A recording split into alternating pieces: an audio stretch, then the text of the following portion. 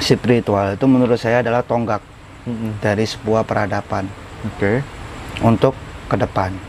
Karena tanpa spiritual, kalau kita lihat peradaban sekarang sangat maju dengan teknologi-teknologinya, tapi tidak punya roh. Nah, spiritual itu adalah rohnya. Nah, seharusnya teman-teman yang berspiritual itu harus ada implementasi nyata. Karya-karya yang di mana karya itu membawa kemaslahatan. Hmm.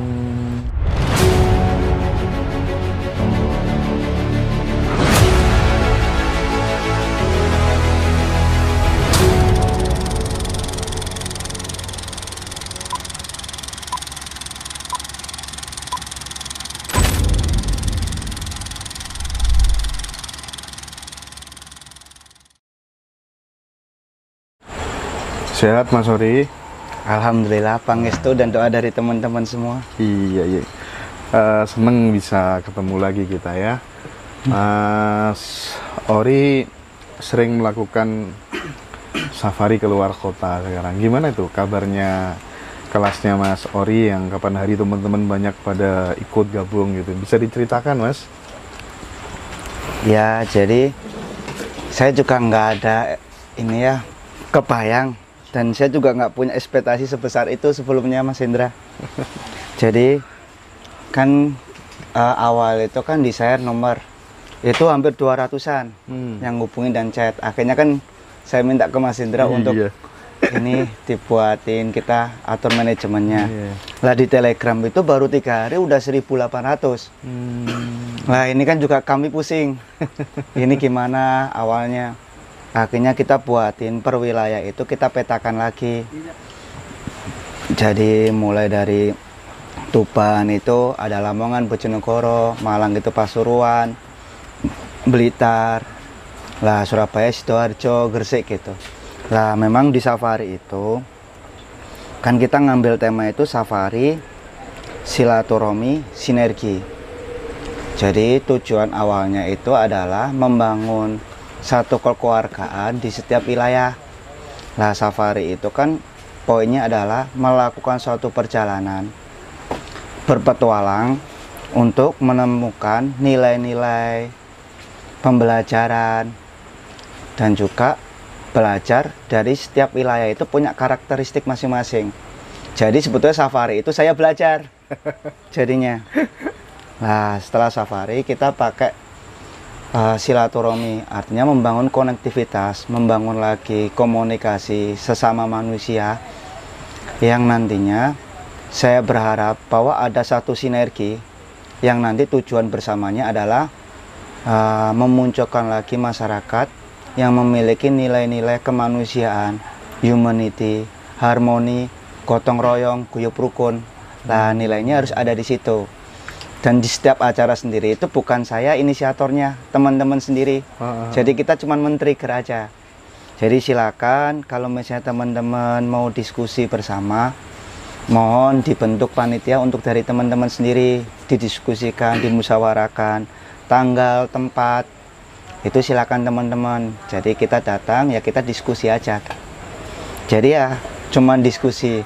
Kalau tahu nanti di diskusi itu teman-teman eh, tanya soal metode, bagaimana saya eh, belajar baru kita sampaikan. Nah, cuman saya sampaikan juga Bu bahwa ini bukan satu-satunya metode.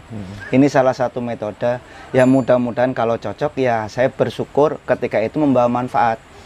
Dan saya berharap bahwa apa yang saya pelajari dari guru saya almarhum Kang As dan Pak Made ini keilmuan ini terus berjalan terus berlangsung hingga bisa dinikmatin oleh seluruh masyarakat dan membawa dampak positif. Hingga akhirnya ini menjadi ibadah amal ibadah beliau. Ya cuman itu Iya iya. Tapi yang paling esensial sebenarnya yang diinginkan teman-teman tuh metode metode apa mas? Sebenarnya? ya jadi kan teman-teman itu kan eh, kebanyakan tanya soal bagaimana meditasi. Ah, karena kebanyakan teman-teman di sana itu meditator semua oh, cuman ada ketitik ketidakpuasan beliau iya iya. iya. ada yang validasi atas fenomena-fenomena dan sebagainya. Nah, akhirnya saya cuman mengungkapkan hasil dari apa yang saya pelajari dari pengalaman saya. Dari setiap level meditasi itu poin-poinnya di mana, jebakan-jebakannya di mana. gitu. Ah, nah ini menarik nih ngomong soal jebakan-jebakan spiritual ini kan banyak orang yang ketika kemudian sudah ada pengikut gitu terkadang dia tidak merasa eh, dia menghadapi sebuah jebakan-jebakan spiritual yang kemudian beraneka ragam. Apakah kemudian Mas Ori juga merasakan hal itu dan bentuknya terkadang seperti apa dan cara mengatasinya bagaimana, Mas? Ya, jadi di situ kan ketika kita melakukan transformasi kesadaran ya. Jadi istilah meditasi itu kan banyak orang memahami meditasi dan banyak yang melakukan meditasi. Lah, cuman kadang tujuannya berbeda-beda. Lah, tujuan inilah yang sebetulnya poin utama untuk kita melangkah. Kalau tujuannya sudah belok, pasti belok. Nah, karena di setiap itu ada satu power ego yang muncul dalam diri kita. Jadi keakuan itu apa istilahnya ada penebalan eksistensi dalam diri kita. Kita bisa ini, bisa ini, bisa ini, bisa ini. Nah itu pun juga terjadi dulu waktu saya gitu. Akhirnya di momen- momentum-momentum tertentu, oh ternyata semua ini hanya pinjam. Jadi poinnya adalah sebetulnya kita adalah makhluk manusia yang tanpa daya dan upaya tanpanya. Nah untuk mengikis eksistensi itu kebanyakan kita itu tidak mau. Karena kita itu takut tidak menjadi apa-apa dan bukan siapa-siapa. Iya, iya. Nah itu kan yang aneh. Padahal nilai spiritual itu mengikis segala hijab agar ketika kita bertemu dengannya itu pure murni gitu. Sindrom-sindrom itu kan kalau saya rasakan Mas, kebanyakan ini mayoritas adalah ya ini ajaran-ajaran spiritualku ini yang paling benar gitu. Kebanyakan kebanyakan seperti itu ya Mas ya. Hmm. Bagaimana itu sebenarnya seorang pelaku jalan sunyi, jalan spiritual supaya bisa melewati fase itu sehingga kemudian bisa melakukan perjalanan sampai finally gitu Mas. Ya kan kebanyakan ketika seseorang melakukan transformasi kesadaran itu merasanya itu lebih tinggi, merasa sudah itu sebetulnya gagal. Karena yang saya Merasa paham sudah sejatinya dia gagal. gagal. Karena kan yang saya ceritakan bahwa puncak dari spiritual itu tidak ada.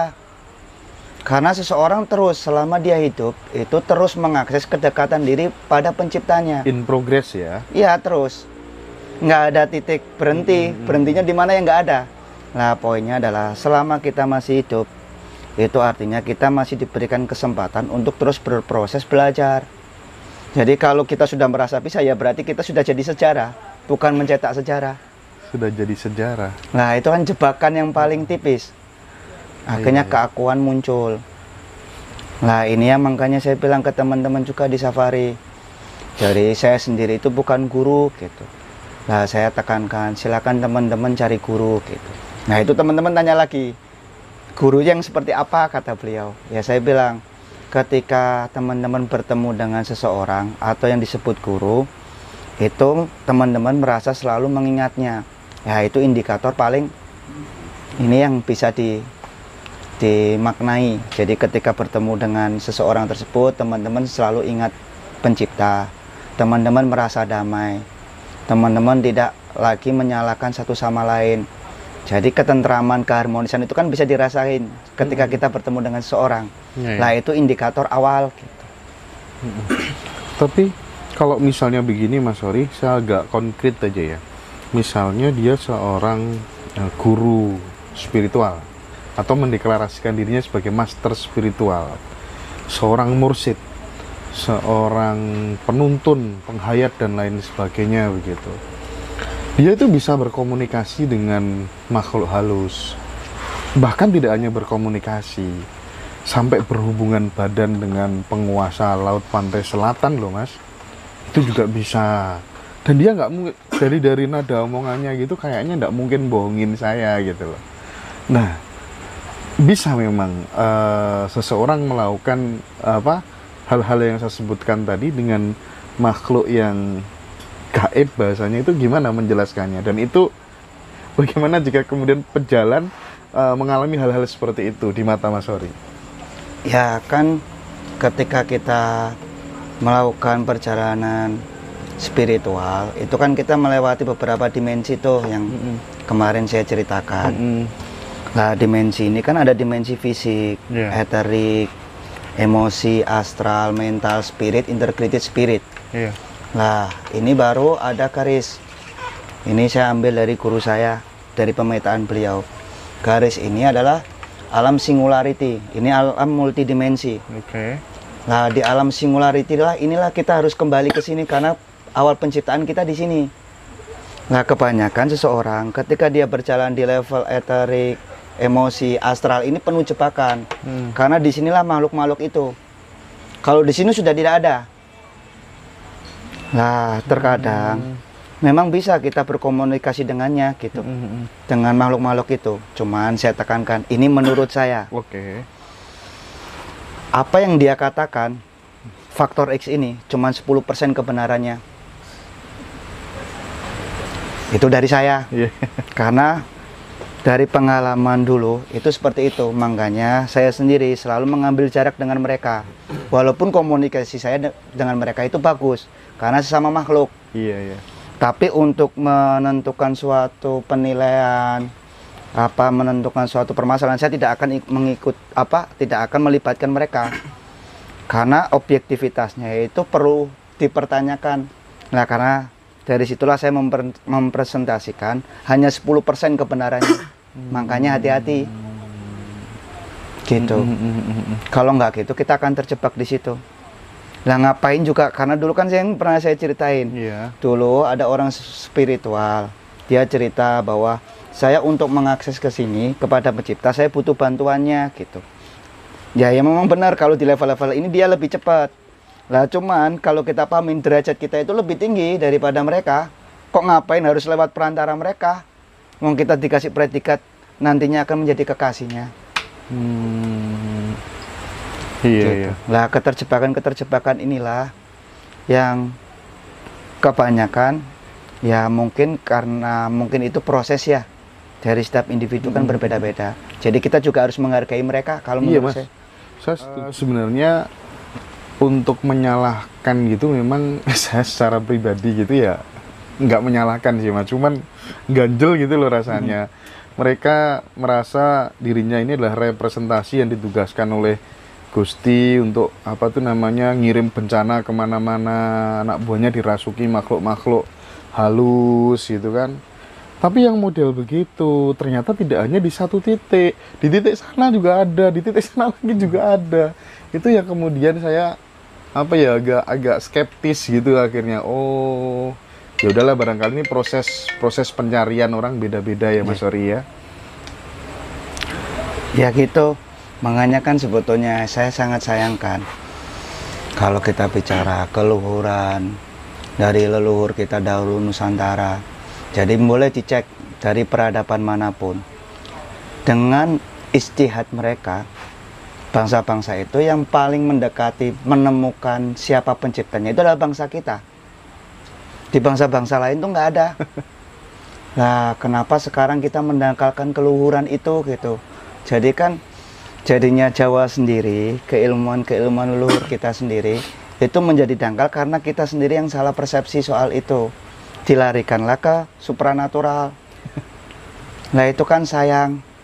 Ya kayak misalnya gini, dulu ada yang pernah bertanya dengan saya, Mas, eh, apakah saya ini diikuti leluhur gitu katanya. Ya saya bilang, ya ngapain leluhur mengikutin kamu kayak nggak ada kerjaan aja di sana saya gitu. Karena menurut saya ketika roh sudah sampai sini nggak mungkin turun lagi, kecuali dalam keadaan tertentu dengan visi misinya. Nah itu memungkinkan. Nah kalau nggak gitu nggak mungkin. Nah terus ada juga yang seseorang mediator dimasukin tuh. Ini roh leluhurnya, ini roh dari kerajaan ini nggak mungkin roh itu masuk ke jiwa ke masuk manusia. Itu pasti jin. oh iya iya Nah itu ya mungkin ya karena ketidaktahuan atau mungkin bisa jadi saya yang salah gitu. Jadi dari pemahaman saya ini mungkin dari saya dari yang saya alami tidak mungkin roh itu masuk ke tubuh manusia. Yang ada itu jin. Mm-mm. Karena frekuensinya pasti beda. Jadi misalnya pocong kalau orang-orang bilang Itu kan sebetulnya roh yang tidak bisa naik ke atas. Mm-mm. Jadi bukan jin. Beda. Nah, ini yang perlu diwanti-wanti teman-teman. Mungkin ya. Tapi di era kontemporer seperti ini harusnya spiritual tuh ditarik ke ranah apa? Mas Ori, kira-kira yang paling realistis begitu. Jadi kan gini, spiritual itu menurut saya adalah tonggak dari sebuah peradaban Oke. untuk ke depan. Karena tanpa spiritual, kalau kita lihat peradaban sekarang sangat maju dengan teknologi-teknologinya, tapi tidak punya roh. Nah, spiritual itu adalah rohnya. Nah, seharusnya teman-teman yang berspiritual itu harus ada implementasi nyata. Karya-karya yang di mana karya itu membawa kemaslahatan. Hmm. Nah, makanya ayolah turun, jangan di atas terus. Iya ya. Makanya itu ada tuh yang cerita waktu saya di safari itu. Nah, kalau di kita itu kan puncak tertingginya moksa katanya. Eh, Saya bilang, kalau menurut saya moksa itu belum puncak, itu malah gagal kalau kita sampai moksa. Karena poinnya harus turun menjadi khalifah. Membawa nilai-nilai ilahiyah, Ah, ah. membawa kemaslahatan. Kalau moksa berarti gagal. Jadi nilai khalifahnya. Jadi yang keren tuh sebenarnya kalau kita bisa seperti Einstein, Hmm. Thomas Alva Edison. gitu. Hmm. Saya jadi teringat oleh salah satu narasumber kita, Profesor Sutiman. Ini, ini Ya. orang keren banget ini. Hmm. Jadi dia luar biasa IQ-nya sampai menemukan ini ya apa pembaluran begitu ya. Nanoteknologi ya. Ha, apa namanya mas? Nano. Eh, nanoteknologi. Ha, jadi sepupu saya itu kan kanker tulang mas, tumor tulang mas, Iya. keras banget gitu ya. Baru berapa, beberapa kali gitu ya, sekitar dua minggu lebih lah, tiga mingguan lah dibalur di sana. Sekarang yang tadinya keras, sekarang lunak. Ya Allah, saya mah ini spiritual tuh harusnya diarahkan ke sini semua. Iya. Sehingga bisa bermanfaat buat banyak orang Iya. gitu loh mas. Bukan cuman ocehan-ocehan belaka. ya itu keren. Eh, eh, eh, eh, eh. Jadi ada kontribusi nyata Ya, gitu loh ya. benar. Harusnya dibawa ke situ di ranah polarnya harus tercermin. Nah, Lah kita ini kan kebanyakan secara konsep bagus semua. Tapi ketika dihadapin realita ambruk semua. mm, mm, mm, mm. Secara pemahaman oke lah. gitu. Iya, ya. Tapi ketika dihadapin realita udah ambruk semua Benar, itu benar, kenapa benar. gitu. Jadi pondasinya yang harus kuat. Makanya saya bilang gitu. Jadi bangunlah jiwanya dan juga beserta raganya. Nah kebanyakan orang diam aja gitu udah selesai enggak. Raga itu juga harus diperhatikan. Jadi secara kesehatan secara fisik maupun mental saling bersinergi. Mm, mm, mm. Kalau nggak saling bersinergi ketika mendapatkan satu momentum pemahaman, fisiknya nggak kuat ya ambruk.